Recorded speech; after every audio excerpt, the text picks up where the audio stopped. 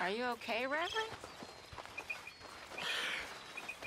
I'm sober, if that's what you mean. Arthur, I've been on quite a tear. Me and Mary Beth have been so worried about you. Uh, you girls, you have beautiful hearts. Really, you do. I don't know about that. But we care about you. You seem very sad. My life took a turn for the worse when I took up with morphine and opium. I was told it would alleviate my suffering, and in many ways, they were correct.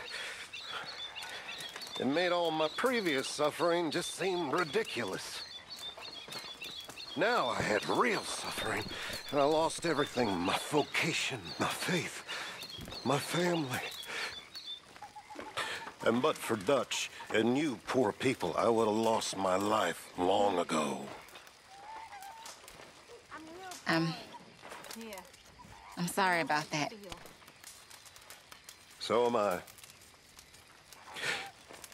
And yet I know in a few days I'll be back at it. Searching for I don't know what in that stuff.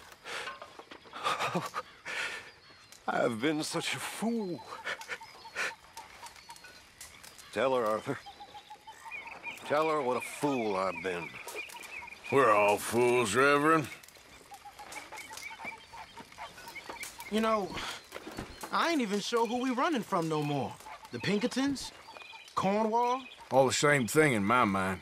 Cornwall's sure to be lying in the Pinkertons' pockets, along with everyone else's. Don't give up. I'm just not strong enough. I think you are. Okay, I'll catch you later then. I guess.